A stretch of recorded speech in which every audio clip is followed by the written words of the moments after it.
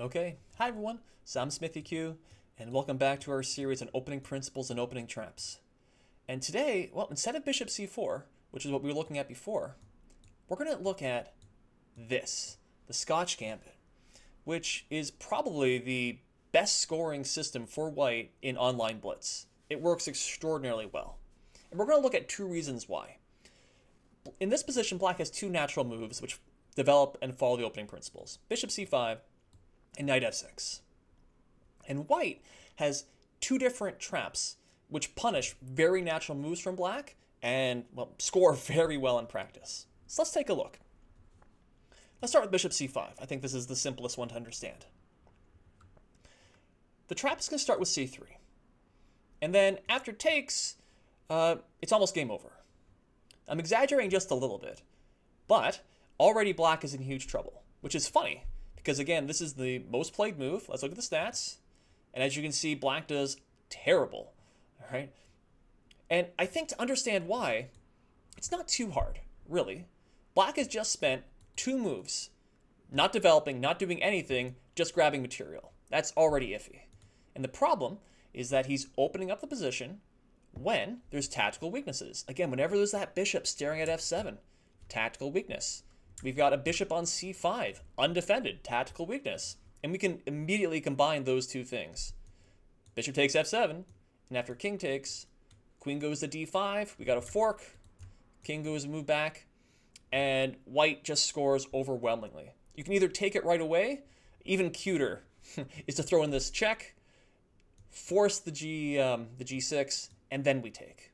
And if I were to show you the stats, you're just going to see overwhelmingly uh, the score is in uh, white's favor. Just absolutely overwhelming. Uh, black's up a pawn. He's either going to lose that pawn back or he can take it, sure, whatever. And you can see the stats don't change. This is why it's cute to force that g6 move because now that bishop has a huge diagonal. And black can't castle, center is open. White's got the easiest job in the world. Castle, knight c3. He's already finished development and he's just going to crush black. And the stats don't lie.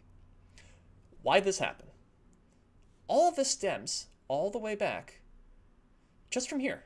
Let me get rid of that so we don't give away the, uh, the correct move. Just two moves in the open, two tempi, where we're not developing. When we have A, these tactical weaknesses, and B, a wide open position, it can spell your downfall. And this is why this is such an effective uh, trap, especially in online blitz. You're barely thinking for the first five moves, boom, game over. So let's start thinking. What should we do instead? Well, we just reflect on the opening principles. We know what we want to do. We want to develop, we want to castle, and we want to control the center. And there's a move that does essentially all three of those. Knight f6. It develops a piece, it lets us castle next move, and the knight is pressuring the center, allowing us to either you know take the pawn or play d5. And what's nice about this is that we've actually now transposed out of Scotch Gambit territory and into the regular mainline Italian. Um, see what I mean? Just sort of memorize this position, stare at it, see where all the pieces are. If I were to back all the way up, e4, e5, knight f3, instead of the Scotch Gambit, if we were to look at the regular Italian, c3, knight f6, these moves have been played hundreds of thousands of times. Look, it's the exact same position as before as in after. And so instead of having to worry about all the Scotch Gambit traps, we've now just got a regular Italian.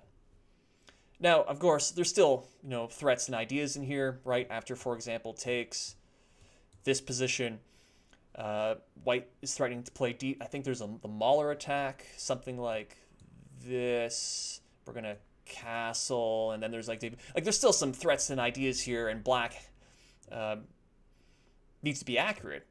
But it's uh, a lot better than losing in five moves like we just saw. And whenever you can just transpose into regular opening, that's always good. Backing up. Let's go back to the Scotch Gambit. So we've just looked at the bishop c5. And there's that, the idea is to play c3, really tempt black, and again, it's the most common move to open the position up, and black is, I don't know if black is lost, lost, but black is doing much, much worse. The second move is knight f6. Just developing. And what's interesting is that this is going to, well, after knight g5, This looks very similar to the last videos that we watched in this series. White's ganging up right there on f7. What do you do? Well, let's block it with d5, most played move. e takes d5. I should probably delete these arrows. We got the most tempting move is knight takes d5. And hopefully, again, if you watch the previous um, episode in this series, this position should jump right out. We already looked at this position. After castle, let me show you the stats. We've looked at this. Black is in huge trouble. Absolutely huge. He's losing about 70% of the time. And we can see why. Wide open. Uh, white is already castled, got the open e file. We've got this pressure here on f7. Black is just, if black could play two moves, bishop e7 and castle, maybe he'd be okay. He would be okay. He'd be great. But he can't. After bishop e7, we throw that in. And just look at that. Unbelievably huge. White is just absolutely crushing. After takes, queen goes to f3, attacking the knight, attacking the king.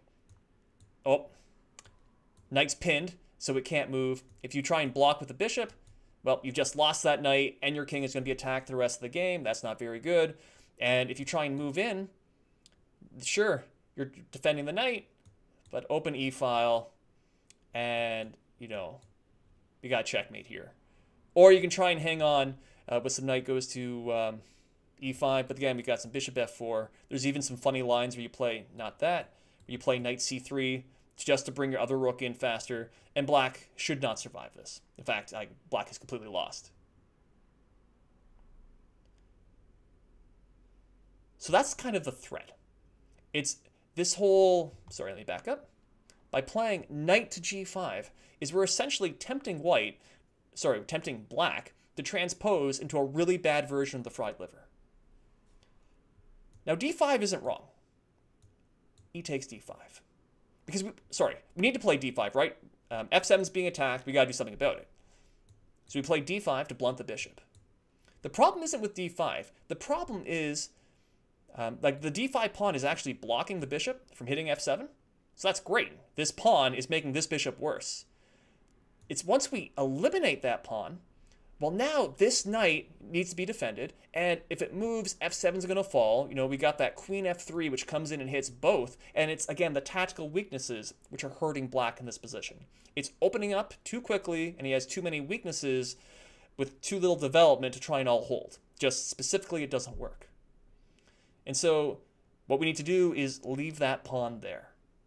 Black has two options. Okay, you've got a bunch of options, right? You can throw in a check, you can move this knight somewhere, and then things are great. Um, as long as that pawn stays there, there's no disaster on f7. I think knight a5 is the simplest. Attacks the bishop. We can come in here. Let's just play some bishop d7.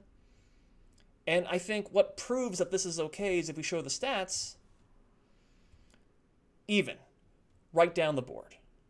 And we've just reached a normal position. We can just play chess. Everything's fine. We've dodged the major problems.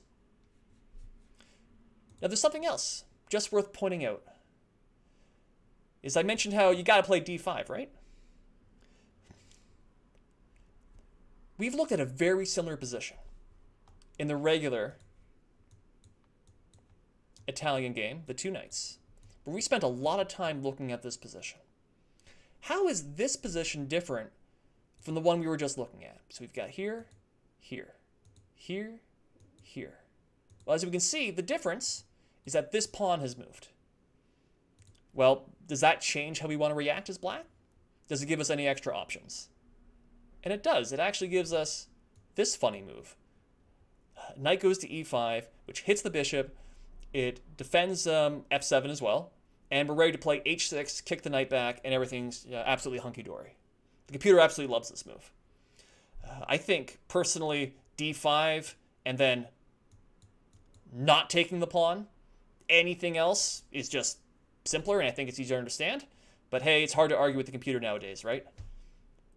Um, so there we go.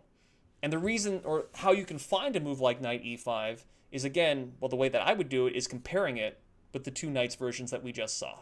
How is this position different from this other position I know?